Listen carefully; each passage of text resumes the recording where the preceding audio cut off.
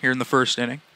Kappas and a nasty curveball down low, but it'll be a pitch that gets away from Riley Wash. DeSanio gets the first and Wehler scores, and the Penguins strike first. 1 0, Youngstown State.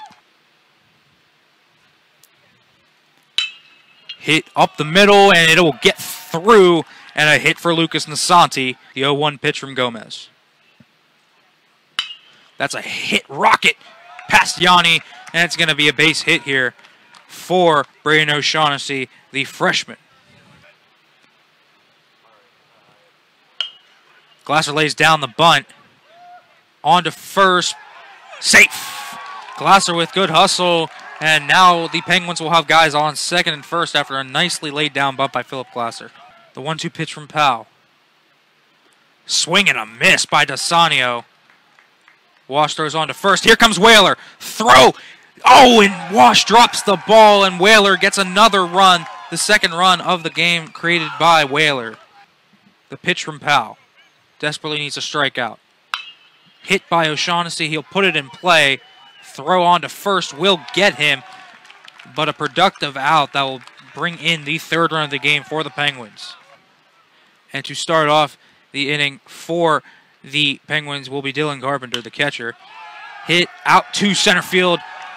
Duff cannot get it, and it'll be a leadoff single to start off the inning for Dylan Carpenter. Pitch. That's a hit. That's going to go into left field. One run scores. They will hold up the runner at third. And Wehler with an RBI single. The pitch. Lays down a bunt. Perfect bunt from Glasser. Goes home, can't get him. And everyone is safe. And Youngstown State extends their lead to 5 to nothing now with one out and runners on first and second. Chopped on the first, gets past the diving Hewitt, and runners will be on the corners here with no outs. To Bucko. Hit down the left field line. Bucko has a hit. He's going to try for two. Coming up firing. He's safe. Dominic Bucko gets a key double here in the top of the ninth inning. That's a rip down the line. Bucko's going to come around and score. Rodrigo Shaughnessy comes off the bench and gives the Penguins a key RBI double and gives them the lead here in the top of the ninth inning to Nasanti. That's hit out to center field. Anderson's under it, but this should bring another run home. And it will bring another run home. Murray comes home to score.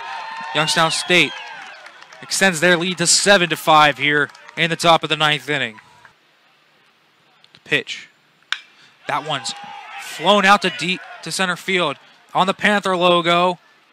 It's going to be caught by Grau, and Youngstown State gets a big win here in Pittsburgh. They defeat the Pittsburgh Panthers 7 to 5 here. A big win for the Penguins. Yeah, very impressive win for Youngstown State and just continuing on an impressive resume to start the year after winning two of three at Houston, winning here against an ACC opponent in Pittsburgh.